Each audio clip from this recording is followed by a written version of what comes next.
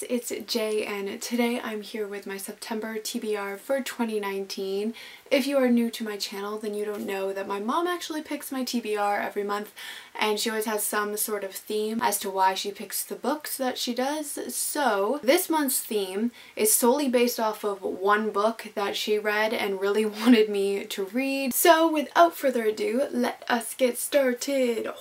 So the book that I'm talking about is Caraval and this is by Stephanie Garber and the entire theme that she chose for this month was the circus or fall festivals. The books will make sense once you see them but this was the reason behind this theme. So this follows two sisters, Scarlett and Tella, who have never left the island that they grew up on with their very cruel father. Their father has arranged a marriage for Scarlett. Scarlett is convinced that she will never be able to go see the once a year performance called Caraval where the audience actually participates in the show. But then one day Scarlett receives an invitation to Caraval. Scarlett and Tella end up going to the show and that's when Tella is kidnapped and it is revealed that the whole theme of the Caraval that year is the first person to find Tella is the winner. So Scarlett decides that she is going to save her sister before it's too late and it's the story of that. But my mom really loved the book so she was like you need to read it and so she based all the other books off of that. The next book that she chose is Water for Elephants by Sara Gruen because elephants are found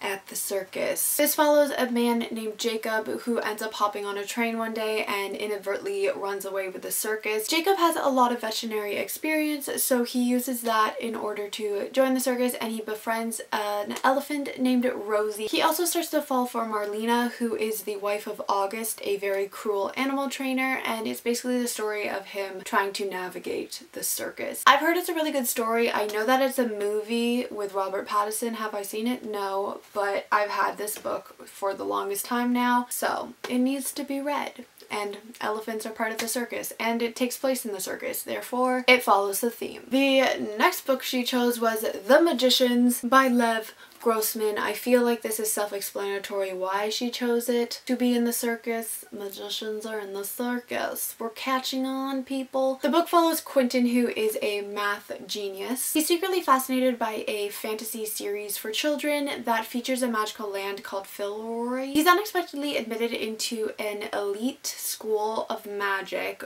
which holds the secret behind the land of Fillory. And he quickly discovers that the land is a lot darker than he originally thought and it's like the story of that. I've heard mixed reviews about this. A lot of people really like it. A lot of people don't like it so much so we're gonna see where I fall. The next book that she chose is a little bit of a stretch but we'll go with it. It's called The Fall by Bethany Griffin and she chose this because fall festivals, get it? Fall. Mm-hmm. It, let her have her moment. And this follows a haunted house called the House of Usher and a girl named Madeline who is part of the Usher family and basically anybody who lives in this house ends up spiraling out of control and it's like her turn to spiral out of control. She thinks that she is going to be able to destroy the magic in this house, the demons, whatever is haunting it. But then she wakes up in a coffin and it's the story of her trying to figure that shit out. I've literally heard nothing about this from anybody, so could not tell you if it's trash or if it's good, but if we read it this month, I'll let you know. The next book that she chose is Starry Night by Isabel Gillies, and this is because you go to the carnival at night. And this follows a 15 year old named Ren who falls in love with her brother's friend, and it's like the story of them falling in love. You know, your typical rom-com kind of thing.